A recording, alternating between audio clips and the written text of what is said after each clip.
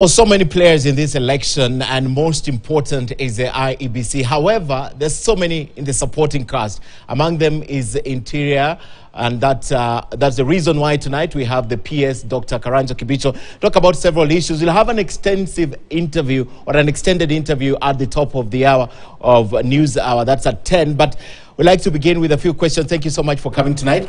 Thank you very much. Good Per- evening. Good evening. Perhaps the first question is uh, th- there is this advisory that we saw today posted by the US Embassy. What do they know about the county of Kisumu that perhaps you know and you're not telling us, or you don't know and they know? Uh, thank you very much. I think um, it's unfortunate that uh, we are here to discuss that uh, because um, uh, the U.S. Embassy has actually withdrawn uh, that advisory that they had uh, put in the morning.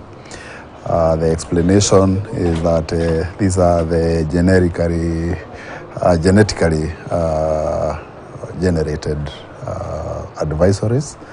Uh, there was no reason for them to actually think Kisumu is a problem. And that's the reason why they have withdrawn it after the government questioned. Straight to your question, there's nothing they know that we don't know because uh, we have uh, been doing our security evaluation for every part of this country. And uh, among the places where we are worried, Kisumu is not one of them. It's the least of our worries. We don't expect any problems there. And I think it was unfortunate that uh, the US Embassy released such an advisory. We are glad, however, that they were quick to withdraw it and reassure uh, their citizens that they can go to Kisumu without a problem. All right, but I, like to ask still on that. You say it's generic, they usually um, are generated, and then you say again there is no cause for worry, and then there's the fact that they had released it, regardless of the fact that they withdrew it. I mean, for them to have singled out Kisumu, among, because the Interior Ministry has done a lot of work in this country Yes. regarding places perceived to be hotspots. But even for them to have singled that, I mean, you can't just wish it away and say it was generic. They can't wish it away regardless of the explanation. I mean, if it was something that was to trigger, it has done that. Uh, Yes. you, you know, the, uh, the question that I can answer properly is the question that belongs to Kenya. Okay. Uh, the, there is no reason to think Kisumu is a hotspot. We have a responsibility as Ministry of Interior to ensure that every part of this country during this election is uh, safe. The dynamics in Kisumu, and I know uh, the follow up of this question, is because uh, one of the leading presidential candidates comes from there. The political behavior of Kisumu is the same political behavior of Siaya, is the same political behavior of Migori, and there are no advisories around that, even though we know historically the response uh, politically of uh, those four counties is usually identical. And therefore, uh, we don't know why they did that. Uh, probably they should answer when we asked. Uh, that's the answer they gave us, and they withdrew the advisory. What I can assure you is we have every interest to see that every county in this country conducts its uh, election in a peaceful manner, and uh, we have no reason uh, if we think Kisumu is a hotspot, not to say so and deploy appropriately. Okay. Because it is our work to ensure that is security and people are safe.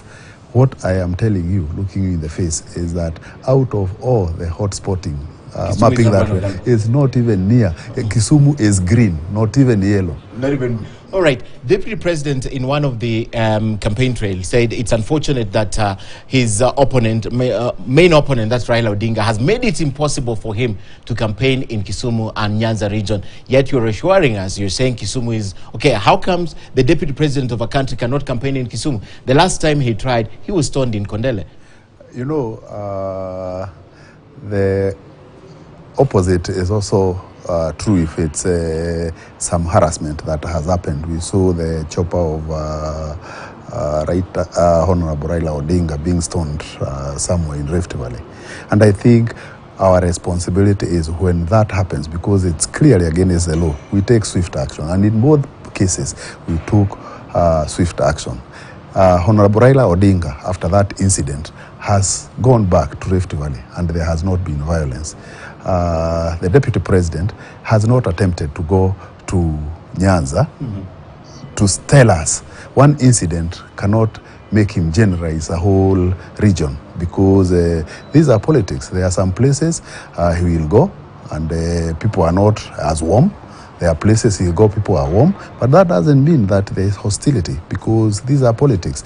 Once an incident happens, our work is to ensure that we follow uh, up who caused the, I mean, who, uh, who uh, caused the stoning, uh, who was involved in this crime, and take them to court. That's what we do. And in both incidents, that happened. But uh, uh, it will be very fancy to say that there is hostility Okay. uh, because uh, this politics, you still also want to whip emotions. So now you would you'd say with three days left, you can assure the deputy president that he can transverse Nyanza and he will be secure as a senior government the, official. The deputy president can go to any part of this country. Uh, if he feels like he will not be safe in a place, uh, he informs us and we will deploy the security around him appropriately. And I think uh, he has that right as a presidential candidate, but most importantly, as a deputy president of a country. So I think uh, these statements that are being thrown without any evidence to just uh, cast aspersions to what we do as Ministry of Interior are reckless because uh, we have not had one request of coverage uh, security coverage of any of the presidential candidates, the four of them, and we have turned it down. Okay. Yeah. All right, uh, Interior and Coordination of uh, Government Business, that uh, Dr. Karanja Kibicho stays.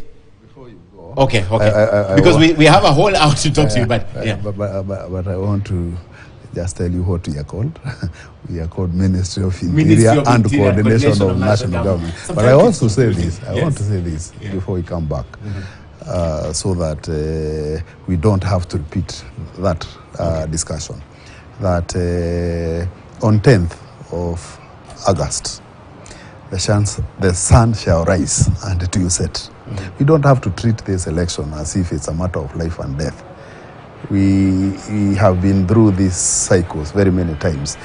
The people we are fighting about, on 10th, they'll be tossing champagne with each other. Mm -hmm. Uh, my caution is that as we go through the remaining few days, ensure that uh, they are peaceful, know that this election shall come and go, ensure that as people toss, you are not uh, nursing a wound Okay. because of people who care least about you. All right. Dr. Karanja Kibicho stays with us. We're coming at the top of the hour with an extended interview. Away from that to